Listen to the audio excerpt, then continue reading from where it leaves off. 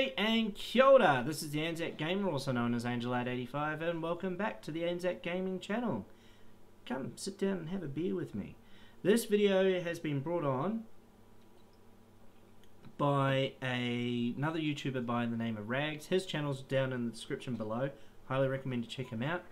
Um, he basically, what he does is, amongst other things, like it's not just, this is it's not all he does on his channel, um, is basically finds you know like JTech TV, Noob Gamer, Noob Tube, I don't know what the fuck his name is, uh, crap game reviews or some crap crap gamer.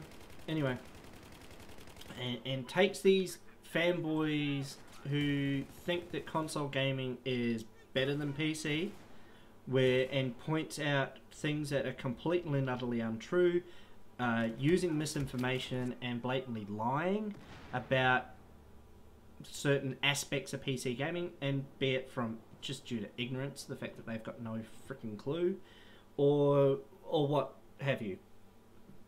So, highly recommend you check his channel out and uh, have a look at what he does. He's very entertaining. I do recommend that you need to put a bit of time aside.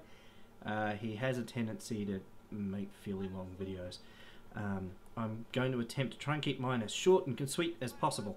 So uh, basically my video is going to be a little bit different um, considering that I actually come from a background of 27 years of gaming on various platforms from uh, computers like the Commodore 64, uh, uh, 386, 486 computers, uh, Pentium 166s and Pentium 3 computers and well just PCs in general and Nintendos and Super Nintendo, Nintendo 64, uh, Sega Master System, Sega Mega Drive, Sega, uh, various handhelds like the Game Boys, um, PlayStation 1 and PlayStation 2 and I had and PlayStation the PlayStation and the Xbox original. So the original Xbox. So the original Xbox One, I guess you could call it. I don't know. But the PlayStation 2 was actually the last console. Actually, no, the Wii was the last console I ever owned. But the PlayStation 2 was the last real console I ever owned.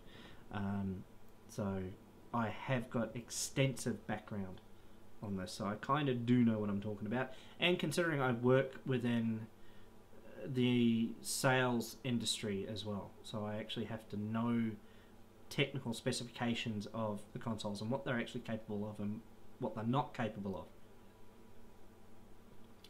So, I'm going to focus on the way that I'm going to do this is that they are going to be just the strengths of the system. I'm going to go into the negatives. Some of it may be, some of it may come off as a negative. Like I may, as I delve into something, um, it may end up being a bit negative. But I will try and stay on the positive side of things and focus on the strengths of uh, the the two platforms. Um, but at the end of the day, I am a PC gamer because the I get to do stuff that I can't do on a console. That I get to do things on my PC that I can't do on a console. Um, so, you know. So let's get straight into it. I'm going to start with the consoles because their strengths are the, the list of strengths for them are actually a bit shorter. So there's the backhanded negativity. I do apologise. I was trying to be as thing, but the list is shorter on consoles for their strengths. Um, so let's start out the simplicity. Now the simplicity side of this is a very blanket term, but we'll try and keep it. Um, I, I will try and break out what it is in there, but straight up simplicity. Um, basically, you will do all your research, hopefully, on the two different consoles. You might ask friends on what they have or what they're planning on having when they do a new generation, which, you know, that's. I could go into that part of it, but that's for. I'll, I'll do that in a different video. But, you know, based on your budget, based on, as I said, your circle of friends, what they have, what they're playing, that sort of thing. What library is available? You know, what games does one console have that you want to play versus another console? It's the you know what is it? Um, but you know you'll buy it, you'll get the console, and you will take it home. You'll unpack it, you'll unplug it, but sorry, not unplug it. You'll unpack it. You'll just plug it in, power, HDMI cable, uh, controller if it's a cable controller, or just to charge the controller up. Maybe I don't know if it's a wireless one. You know, um, connect it to the internet, plug in your bits and pieces, throw your game in. Uh, admittedly, now you have to throw your game in, install updates, uh, stuff like that, um, which I think is a little bit rude. Uh, a mate of mine told me that the latest expansion for Destiny, 13 gig, and it took two and a half hours. Now he's got a similar connection speed to me, and 13 gig does not take two and a half hours.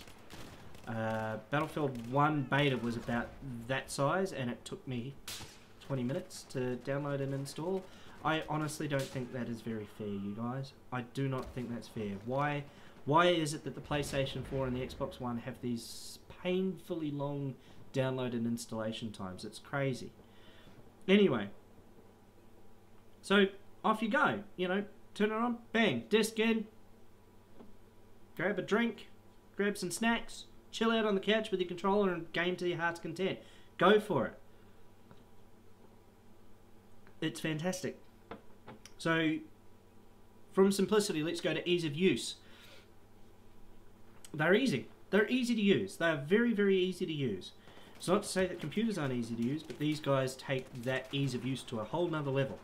Um, they're very simple things that are, you know they they don't have much going on in them. They don't need much going on them. They're only meant to do three or four different things. They're not meant to do a whole plethora of things like a PC. Um, and that, what they do is they do okay. That's fine. Easy use. So that's that's another strength to the console. Um, they have a small footprint. They don't stick out like a sore thumb. But I mean, I'll come to that part later. But that, that's not to say that you can't get PCs of a similar small, compact footprint as well. Um, I mean, admittedly, the big thing that you can see here, this thing here, is a really large tower but it does. It, it was built with my two hands, and I. It's my pride and joy after my girlfriend and daughter. Um, this is my baby. Um, still going strong after five years, and it's got another three or four left in it. So you know, I don't have to worry about a scratch build or anything for another three or four years.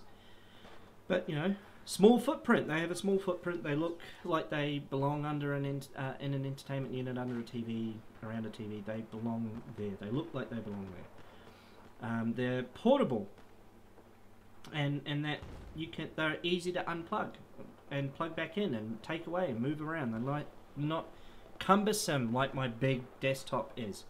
But that's not to say that you can't get a laptop. But you know, as I said, your circle of friends you can unplug it from TV and take it away. Off you go. Have fun. And then price. Now, this one I could be rags would probably crucify me on, but I'm going to explain. In Australia, it is we get compl- and in New Zealand because hence Anzac Gamer.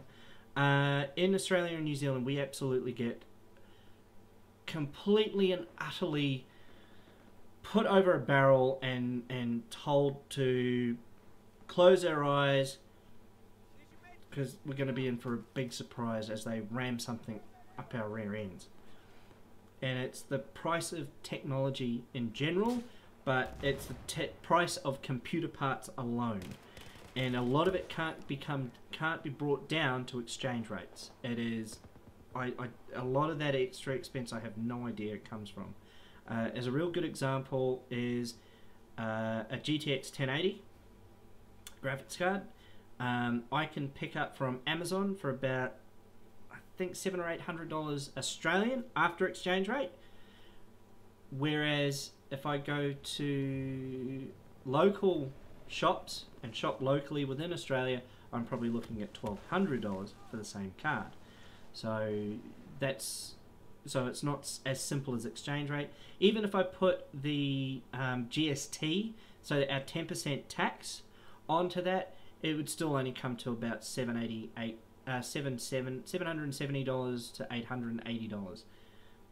It still doesn't add up to twelve hundred bucks. So it's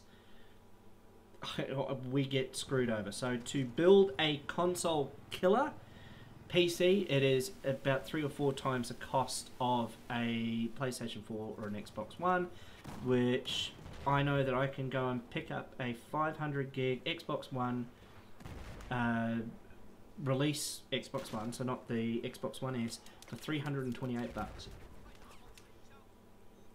So, uh, price into entry of a PC versus, uh, and, and I mean, I've sat down and I've done a scratch build as cheap as I possibly can, and I cannot break uh, un- break less than a thousand bucks. I could probably save a bit by um, using much cheaper and lower grade parts, but then there's no guarantee those parts are going to last.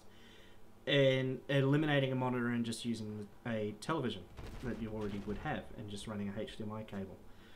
So I, you know, it's hard to you know, so just on price for us here in Australia and New Zealand, the consoles have that as a fairly large strength.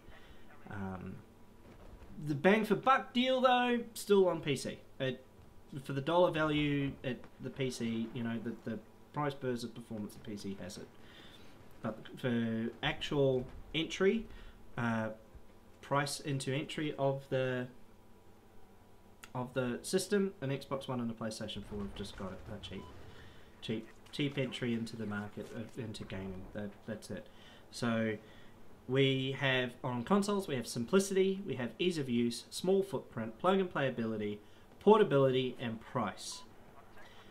Bear in mind that last one is just for our region. That is just for us here in uh, in Australia and New Zealand. That's the that's where the price is a strength. Now for the PC, raw processing power with that raw processing power, games feel better. They feel better. They play better. It, they and you might be thinking, oh, now you're just talking about graphics and stuff. I'm talking about their frame rates. Playing a game like Battlefield 4 at 30 frames is unplayable. I honestly do not know how anybody does that. Seriously. I don't know. I've played it at 30 frames and it just feels like crap. There are the exceptions to that rule. GTA 5 was actually a fantastic experience under 30 frames. It didn't feel like a, it was a smooth 30 frames, it was a smooth 30 frame experience. Um, but once I put in a new GPU on this on, on my computer, I had uh, I ramped that sucker up to the highest setting in graphics, and I'm getting a solid 80 frames, and it just felt that much better. So the raw processing power just means that they can they game better. They, they the games feel better. The gaming itself just is a much better experience on a PC. Just the overall experiences of the game is better on the PC. I mean, yeah, you could be somebody that doesn't like. I don't care about graphics. I don't care about, but you should care about the experience. When you experience a game on a PC versus its console counterpart, the experience is better. They're more immersive. Everything just feels better.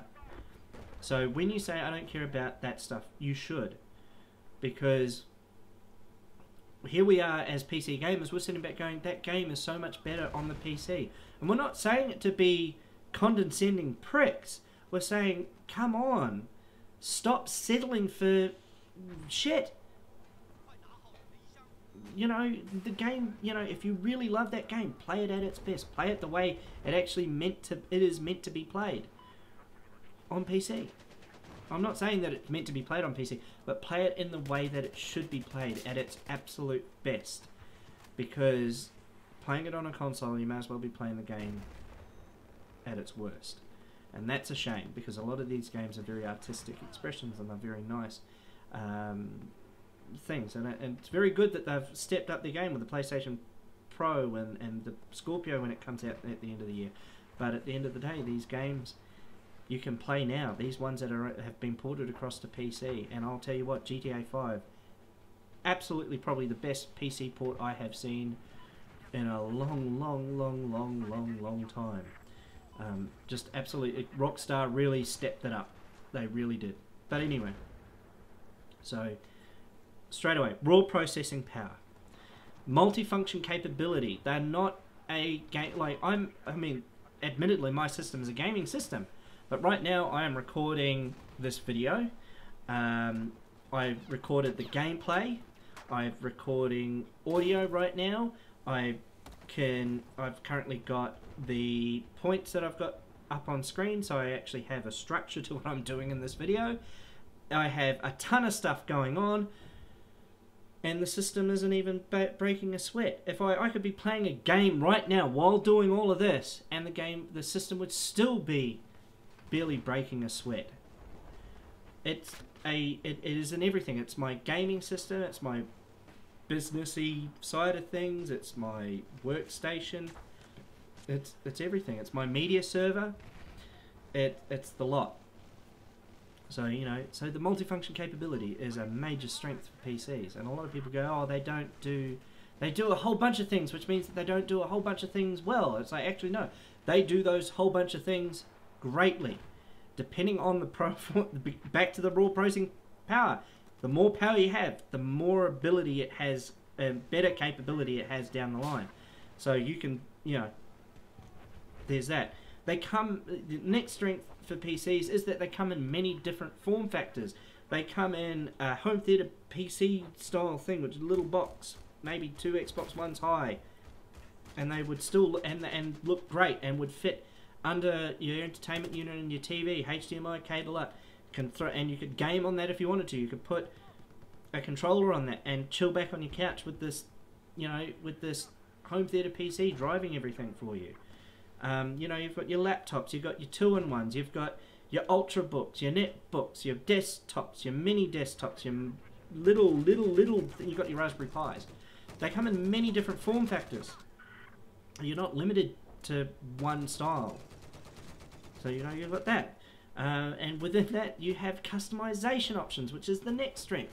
You can personalize the absolute shit out of these things from anything from the as simple as the wallpaper that you have when you log into your system to the operating system that you're actually using, be it Windows, Mac OS 10, or Linux, the components that you have installed in the system, whether or not you have a Blu-ray drive or an Ultra HD Blu-ray drive or no drive at all, you know, you can whether you have like me a dual monitor setup or you have a triple monitor setup or, or a six monitor setup or a full wall projector plugged into it whatever you have a ton of customization options whether the case is a one of a kind custom built one that you've done yourself is a thing. I mean, I've seen people make Star Destroyer cases that actually have things that happen. I've seen uh, wall mounted, exploded, fully water cooled systems that look really, really cool with all these glow wire and everything going on, the lights and every all that. Um, my dream is to build a steampunk style desk with the whole computer and everything in the desk.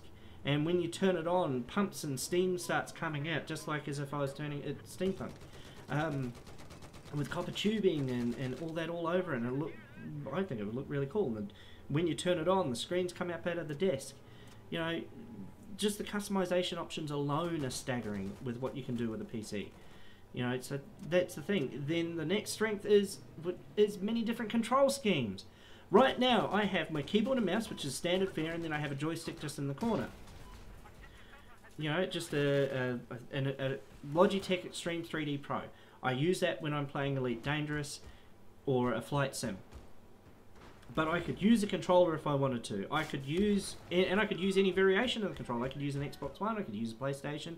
In fact, if I really wanted to, I could go out and I can get the PlayStation Bluetooth dongle and actually get a DualShock 4 controller and run a DS4 Windows 10 or something, or DS uh, DualShock 4 for Windows 10 uh, app, app thing program to make the controller actually work with the system really well again, description to the article down below. It's a PC Gamer article that's there. It'll be in the description below. Have a look, check it out. But I have many different control schemes to work with. You know, joystick, joypad, get, uh, steering wheel. Admittedly, joypad and steering wheel that's available for console, but you know, joystick. Um, if you're using VR, you've got the the touch controls of the HTC Vive, the touch controls coming, hand control touch things for the VR uh, Oculus Rift when it comes. There's tons of them, absolute boatloads of control schemes. And lastly, is Games Library. Now, arguably, we have the greatest games ever made available to us, regardless of year that they were made. We have access to them. We can play them, and that so we can. I mean, I've got uh, Monkey Island. That's a game from my childhood. That one I played on an old window on a 486 back on CD-ROM, and and that was in 1994, I think. That was 1994. Might have been earlier. So I had that, and and we had Loom. I can play both those games today on my computer today on this one this windows 10 based system i can play those games. I can play games like i have no mouth and i must scream. I can play phantasmagoria. I can play sanitarium. I can play uh, theme hospital. These games are going all the way back. And all the way forward i can come and play i can play battlefield 1 obviously. I can play battlefield 4 battlefield 3 battlefield 1942 if i want to go back to the very first computer that i actually had to mess with because I had a graphical glitch in Battlefield 1942. I had to replace the graphics card in that system so that I could play Battlefield 1942 properly. And it was as simple as just changing up from the TNT 2 card that I had to a GeForce MX440. My very first ever parts replacement on a system. And I was hooked. Um, so there, there's all that. You know, and and just recently we have and you know and then I can talk about the emulators. So, so you know we've got emulators for arcade games. We've got emulators for Nintendo. We've got emulators for the handhelds. Emulators for the Sega, PlayStation One, PlayStation Two. I haven't actually had a look, but there's probably an emulator out there for the original Xbox. There's even now a service that's just come online called PlayStation Now, and it's basically Netflix for PlayStation games. And you just stream them to your computer and you can chill and play PlayStation 3 games. And PlayStation 1, I believe, is on there. And they're bringing on PlayStation 2. So, you know, there's, you know, that we have the largest gaming library available in the world to, to you know, whatever. Um, we have multiple services that give us access to these games. We have Steam, we have GOG, we have uh, Humble Bundle when they come up. We have uh, Origin, which is EA's one, and EA is just throwing old games at us for nothing. Okay, here. So I've got games like Nox, Jade Empire, um, Wing Commander 3, uh, as mentioned, Theme Hospital. Um, uh, got Need for Speed, which was a newest one. A newer Need for Speed. Uh, I think it was Most Wanted. I don't know. I can't remember what it was. Anyway, um, you know, they're, they're throwing free games at us. Ubisoft are celebrating an anniversary, and they're throwing free games at us of their old thing, like Prince of Persia and, and, and Splinter Cell. So, you know, we have all these services. We have multiple services. And, and then we have access to multiple storefronts. So things like CD Key Warehouse, CDJS Keys, or CJS Keys. Uh, G2A, which I tend to myself personally stay away from. But that's my own personal reasons why I stay away from that one. Um, stuff like that. So we have access to all of this.